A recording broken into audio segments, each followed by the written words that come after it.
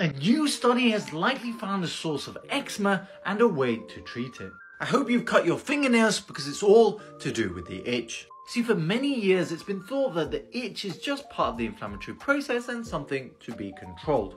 But this new paper by appropriately named Major and colleague challenges that theory. What the researchers found is that a bacteria which is on the skin of 30% of people called Staphylococcus aureus actually secretes an enzyme before your skin is even damaged, which starts to connect with the nerve endings and make them trigger itch signals.